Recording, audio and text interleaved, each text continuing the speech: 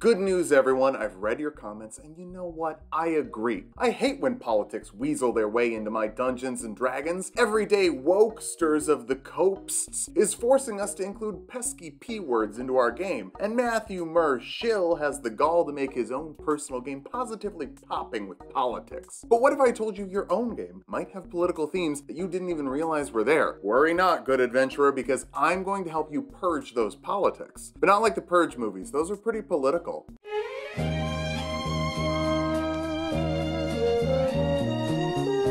I know what you're thinking. Tulok, you look really good today, and also I would never put politics in my game. First, thank you. And second, you may have accidentally put politics in your game without realizing it. To simplify things, I've broken down political motivation into seven different basic sections because that's a magic number. These can overlap and won't cover everything, but we'll do a pretty good job of helping us keep things concise later while identifying various political problems in your game. Number one, militarism. That would be a state building an army, weapons, walls, moats, anything to protect themselves from an outside force or impose impose their will on smaller states. Obviously, any sort of soldier working for a government or mercenary working under a contract will be serving a political purpose, so let's keep an eye out for that one. Number two, civil service. This is any sort of work someone does for the government that doesn't involve violence. Everything from democratically elected representatives to a public sector mail courier is covered here. How to play Newman in D&D when? Never. Newman's too political. Number three, natural resources, also known as hippie crap. Plants, animals, abominable hybrids of plants and animals. Burning down down a forest and training a bear to prevent forest fires both fall into this category. Pretty broad spectrum. Number four, education. Everyone knows colleges are breeding grounds for leftist ideals. Remember, critically thinking will make you care about poor people more than those bad guys 2,000 miles away the TV man told you about. And why would the TV man lie to you? Because appealing to xenophobia is a great way to sell catheters and shitty pillows? Uh-oh, sounds like I'm thinking critically. Let's move on. Number five, religion. Like education, but the sources are dude, trust me. Separation of church and state is like everything in Dungeons and Dragons. Made up, but it's fun to pretend it's real. Number 6 is the real god of the state, economic systems. America, where I live for example, uses capitalism, meaning that if you want money, you need to provide a good or service. Like my Patreon, where you'll get schedule updates, get to vote in polls, access to exclusive videos, and character sheets from all the characters for building character. You could even commission a specific character with the rates listed on the main page. Commissions are open right now. Anyway, the only one we can ignore is identity politics. That's pretty self-explanatory. It's the politics of an individual's identity. Things like gender, race, sexual orientation, that kind of thing. Since your D&D party has to be made up of individuals, there's no avoiding this one. But I know people won't be bothered by it, so we can just move on.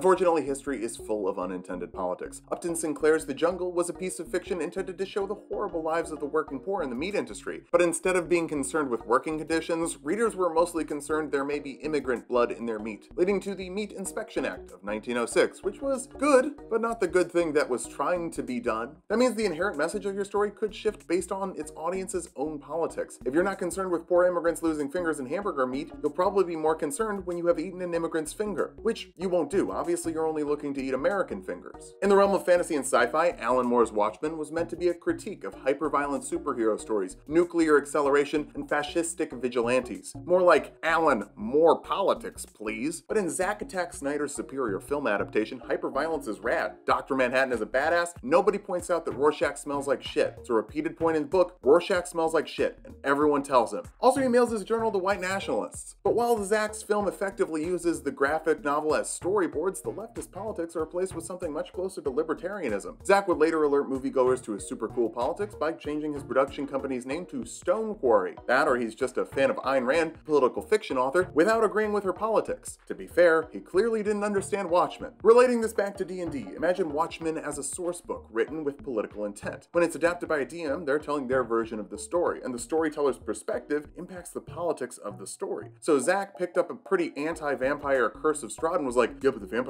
fucking badass and slow-mo and stuff. Or you could be poor Upton Sinclair trying to run a game for your players that makes them want to seize the means of production, and instead they all learn prestidigitation and clean the meats of production. That's why I need to help you. We need to craft a campaign that will be completely immune to both author bias and critical lens. Wait, campaign is a political word. A group of strangers killing things story.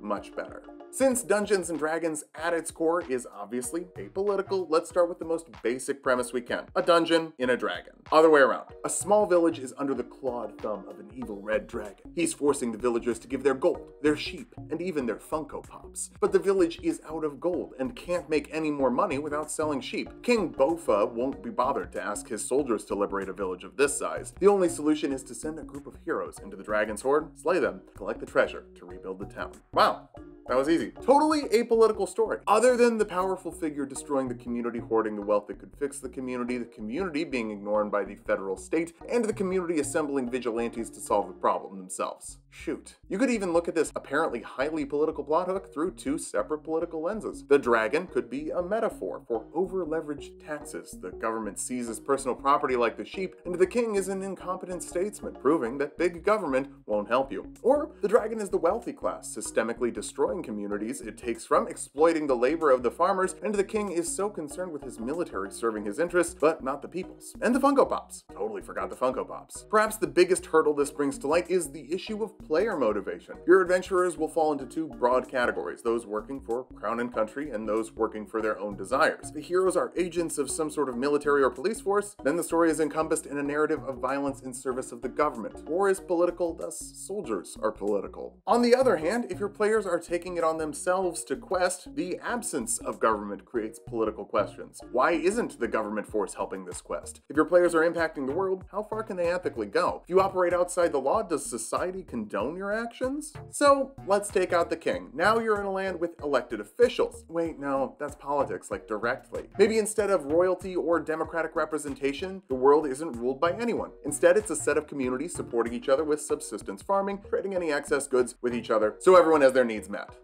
That's anarcho-communism. Okay, it's a prehistory campaign. Society has not formed. Your adventurers are a member of hunter-gatherer social structures, maybe only slightly bigger than a family unit. That way, there isn't any government or defined absence of government that would make anyone think about the politics of living in a society. They'd have to be a real joker to think your adventure takes place in a society. We now have a group of roaming adventurers that are all in the same family. They have to be related, otherwise we'd have to talk about races.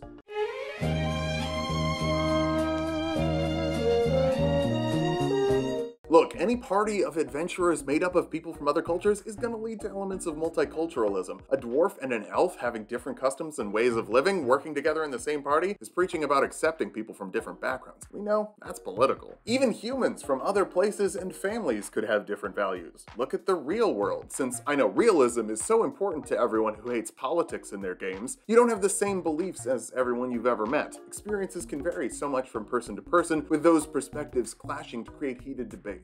Families aren't totally immune to this. Make sure to tell your players that they were all raised in a cave together with no outside ideas or opinions falling on their not pointy ears. After that, they should roleplay their characters the way you want them to. That's what D&D is all about, right? Your players doing exactly what you want them to. Since they're all coming from the same place with the same background, they should also have the same skills, so sorcerers are right out. That would imply a magical heritage, which wouldn't make sense this early in the world. Wizards and artificer are obviously a no-go. A character can't study magic before writing is invented. No clerics, monks, or paladins spirituality is religion, that's politics. Druids and rangers are too connected to the environment, so no deal on a Green New Deal. Warlocks sign up with a magical entity, which wouldn't be human, so we're back to multiculturalism. Barbarians were defined by the Greek as anyone who isn't Greek, so that's an immigration policy in your game. Bards are artists. Art school is where you go to get corrupted by leftist ideals, so that's not allowed. That'll leave us with rogues and fighters, but since the concept of expertise implies someone in the family unit has focused on a talent outside the norm, I think we need to stick with fighter. Thankfully, there's plenty of fighter archetypes you can use, just not samurai because elegant courtier would make you a courtier. Cavaliers are discount rangers that are better rangers than rangers, but that means that they're connected to nature and generally connected to knighthood. Knights are agents of a state, cavalier is out. Battlemasters are student of war, that means school and war, both political, both illegal. Rune Knights are giants, which would be another sentient race. Multiculturalism, be gone. Echo Knight, Arcane Archer, Eldritch Knight, and Knight are all magical, so that's restricted. Thankfully, Champion is here to keep things apolitical, giving you plenty of options if you want to hit stuff or stab stuff or shoot arrows. Your players can do all three of those things.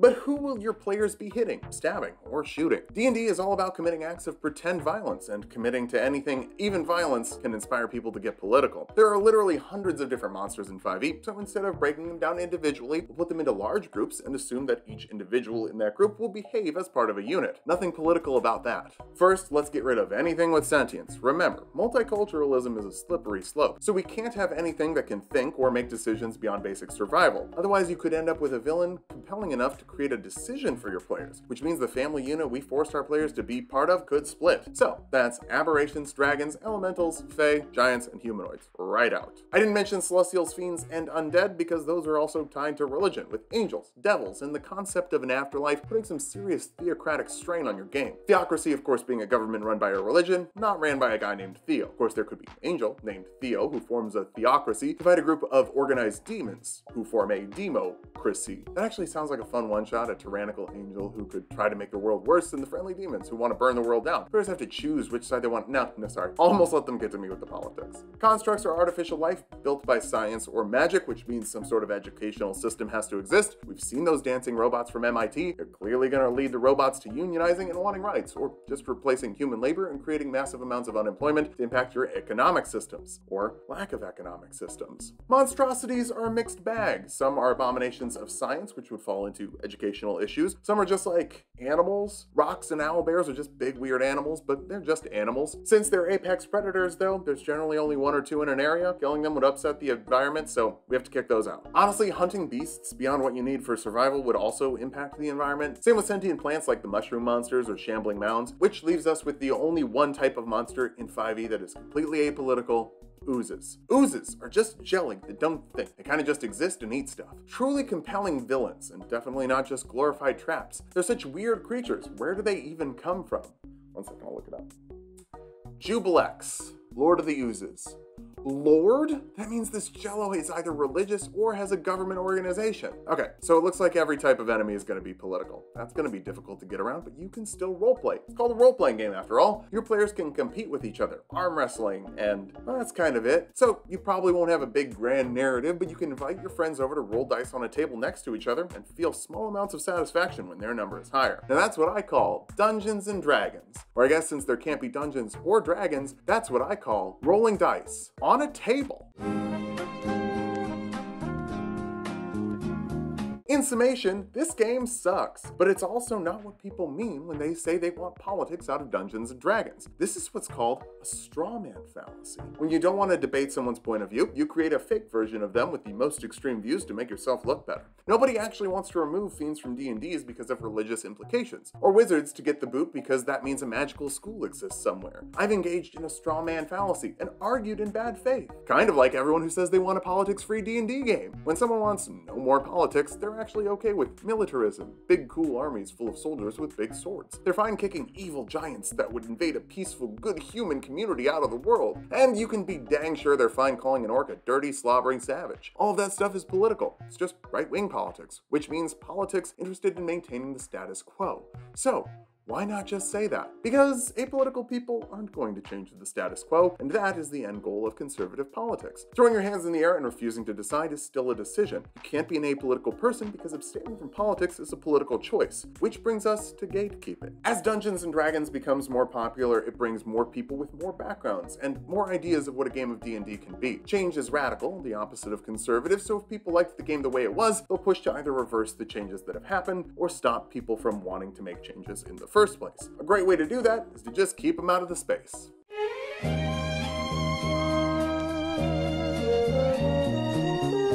Dungeons and Dragons is still fairly niche. Shout out to all my mom's friends she told to subscribe, I'm sure this video makes a ton of sense to you. But it used to be more niche. If D&D was a disease, it spread from the Midwest, which is famous for its diversity. There are Scandinavians, Norwegians, white people, Caucasians, and even white people. It's really white here, y'all, and I'm not talking about snow. It also appealed to fans of fantasy novels like Lord of the Rings. There were so many great characters in those books, like Aragorn and the three named women, two of whom were trying to date Aragorn. So now you've got white dudes, and the 80s weren't the best time to come out as LGBTQIA, so it's probably cishet or pretending to be cishet. That's not to say there were no people of color, women, or queer people, but not as many who would join later. As it turns out, games about bringing together groups of people from different backgrounds to solve problems bring together groups of people from different backgrounds. But with different backgrounds comes different ideas, which could seem scary if you liked D&D for Midwestern white dudes. Derry and Des Moines, Iowa? Bad joke. Anyway, that fear leads to gatekeeping, holding your hobby tight to your chest and pooping on your own buffet so no one else wants to eat there. It's a serious problem in the tabletop space, and even extends out into the real world. Professional political hucksters can make big money and push a bigoted agenda by rallying against woke SJW takeovers. Pushing people further to the right means they'll come back and eat more of your garbage, hate everything made made by people who aren't you, you can monopolize their attention span in an endless cycle of stinkiness. That's not to say that money can't be made fighting stinkiness. If you advocate for a stink-free zone and let people know that playing at your table and in your space they won't be subjected to stinkitude, that can be a little slice of all right, instead of a little slice of alt-right. Which brings us to the thing that's even worse than bigotry. Virtue signaling.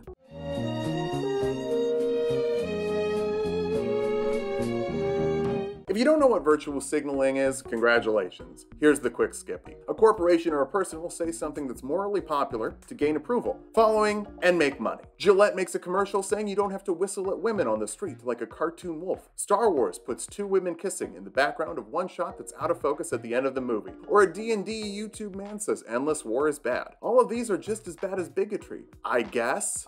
That's false equivalency, another logical fallacy. We've got a lot of them today. It's also another straw man. Picture this, you find yourself backed into a logical corner. You're unable to defend your point of view because society generally considers that point of view morally repugnant. If you were to engage in genuine debate defending your views, your audience would think you're a cretin. So, what can you do? Just say that the person you're debating is only being right because it's popular. Now the debate isn't on whether or not gay people deserve a seat at the D&D table, you're debating whether or not your opponent is just trying to earn points with the gay community, for gay points. After all, if you win enough gay points, you get to go to gay Chuck E. Cheese, which is like a regular Chuck E. Cheese, but for grown-ups, and with gluten-free pizza. The only problem with the argument is that it can be shut down pretty simply. If someone accuses you of virtue signaling, just agree. That's the thing, y'all. Every time one of my videos gets political, I am absolutely just saying stuff to make you like me. Saying stuff to make people like me is literally my job. That doesn't mean I don't believe what I'm saying. If I wanted to make videos about how going woke killed the new Clifford the Big Red Dog movie, that'd be really easy. Just point out anyone in the trailer who isn't a white dude, accuse the studio of virtual signaling, and roll in that dough. I don't make that content because I'd hate it,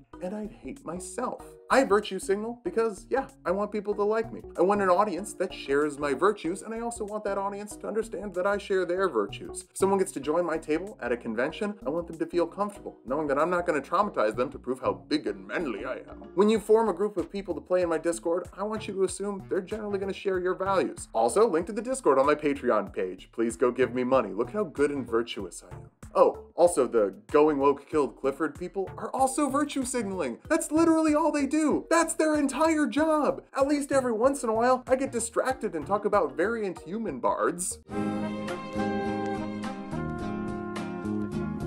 Other than making players from various backgrounds feel safe, being aware of the politics in your D&D game also makes the stories better. Stories generally have these things called morals, dating back to the oldest stories. This hack Aesop was always forcing SJW shillery into his stories. Since they were also all about animals, I'm just gonna go out on a limb, say he was a furry too. Stories without ideology generally feel a little hollow. Don't get me wrong, it can be fun to watch a bunch of stuff explode for about 15 minutes. But even your diehards or your John's Wicks still have values. John McClane loves his his family and hates Eastern Europeans. John Wick loves dogs and hates also Eastern Europeans. Rocky loves Adrian and oh, look at that, Eastern Europeans again. It's almost as though the US military has a propaganda wing funding movies to make audiences xenophobic and also pro-shooting guns. Those are things that you can think about for your game. Fighting anonymously evil dog murderers and Jean-Claude Van Damme loses its luster pretty quickly. Creating a complicated dilemma where a player's choices affect the world in a major way also reveals things about the character and the player that they might not have known about themselves. It's rad, and it's all political. So basically, this video is me saying, I'm not gonna stop being political. It's not gonna happen. I don't think D&D can be divorced from politics. More importantly, I'm not an apolitical person. These videos are mine and I'm going to make them the way I want to. If you don't like that, don't watch them. It's really that easy. You could even start your own apolitical building character show. I just think you're gonna struggle to find characters without political identity. Funky Kong maybe, I guess. No, we're back to anarcho-communism again. Hey, maybe that means something. We could give it a shot. Thanks for watching. If you like the video, subscribe for more. We're making more weird videos like this every Thursday now. Join my Patreon if you want to support the channel directly. Follow me on Twitch if you want to watch me stream and hang out and talk about politics and stuff.